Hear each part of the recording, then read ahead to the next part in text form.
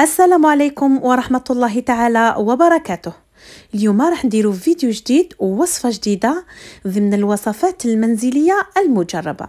إن شاء الله تنال إعجابكم. راح نديرو كسرة خمير ولا مطلوع ولا أروع بطريقة سهلة ومبسطة. وإن شاء الله إذا تبعتوا الفيديو وطبقتوا النصائح اللي راح نقولهم راح تنجحوا فيه مئة بالمئة. نشكر كل مشتركية في القناة. نشكركم كذلك على تعليقاتكم المشجعة.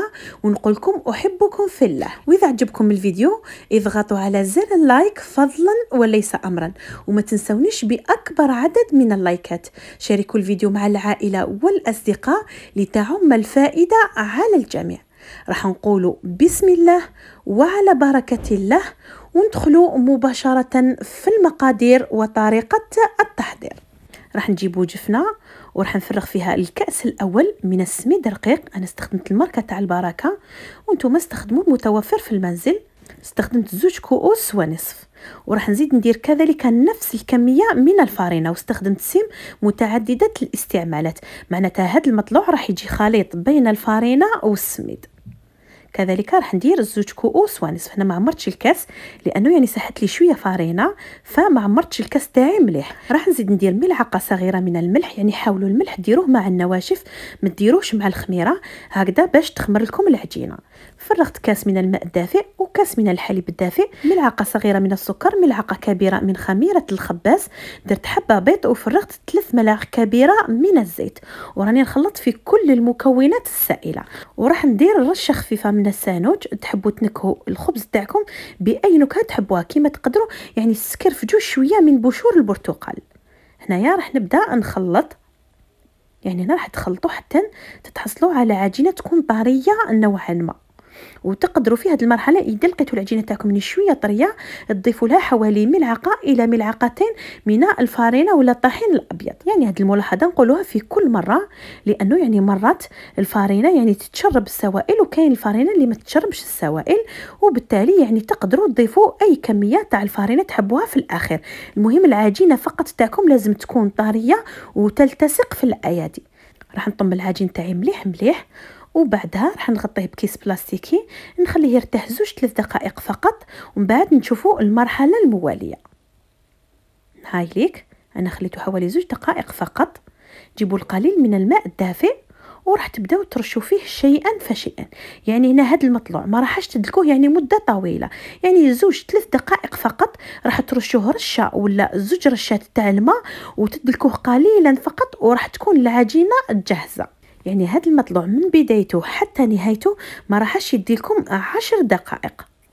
هايليك هنا كما راكم تشوفوا يعني راني نرش القليل من الماء ومن بعد نحاول ندخل هذيك الكمية تاع الماء في العجين.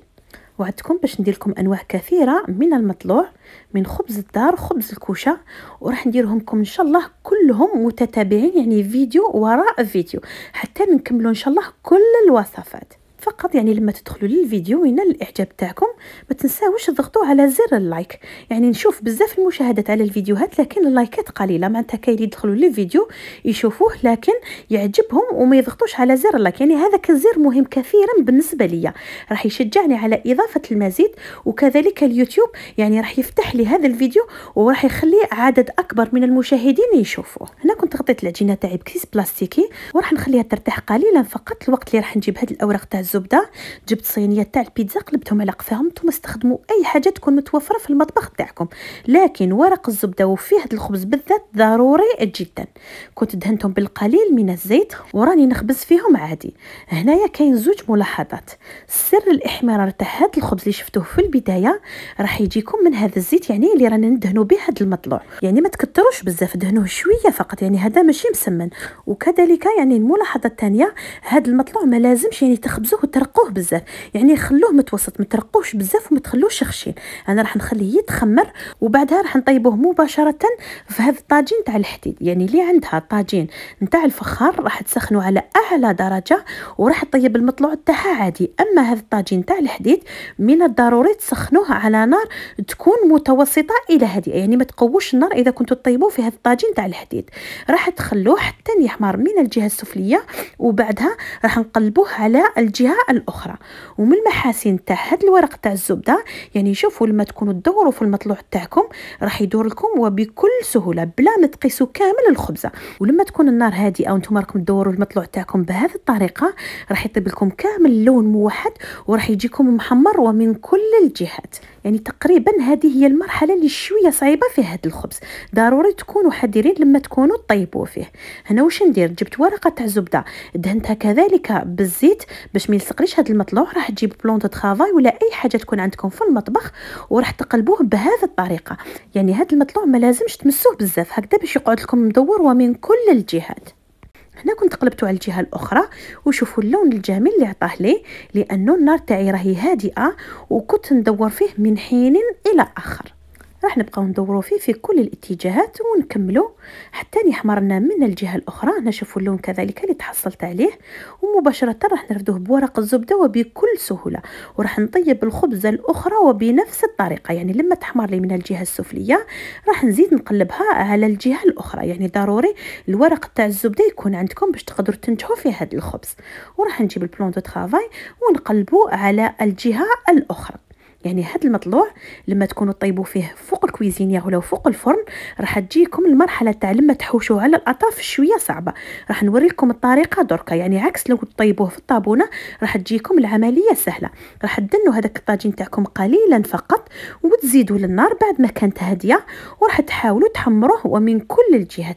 اللي تحب تخلي المطلوع تاعها أبيض على الأطراف كذلك لكم الاختيار. أنا نحبه يكون محمر ومن كل الجهات. هاي ليك هنا راح تشوفوا كيفاش راح تحمر لي الخبزة كامل. هنا نصيحة كذلك اللي نقولها لكم يعني طيبوا الخبزات في الزوج ولما تكملوهم بالكامل راح تبداو تحمروا فيهم من الأطراف. لأنه الخبزة لما تنحوها من الطاجين تاع الحديد يعني تكون ساخنة جدا. ولو كان تبداو تحوشوا فيها هكذا من الأطراف وهي ساخنة راح تجيكم العملية صعبة كثيرا. هذه هي النتيجة اللي تحصلت عليها بعد ما حمرت هذا الخبز من كل الأطراف. راح تخلوه يبرد حوالي ربع ساعة إلى نصف ساعة وبعدها راح تقطعوه وتلقاوه بهذا الشكل. إن شاء الله يكون عجبكم هذا المطلوع. إن شاء الله تجربوه في منازلكم وتنجحوا فيه ومن المرة الأولى.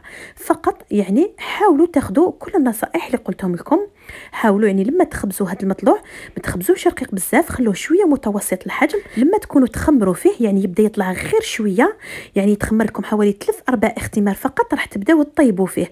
والربع الباقي تاع الاختمار راح يكمل لكم داخل الطاجين. يعني ما تخلوش الخبز تاعكم يتخمر كثيرا ولما ديروه في الطاجين يعني راح يرتفع ويعاود يتفشلكم. لكم تقريبا هذه كل النصائح باش تنجحوا في هذا الخبز.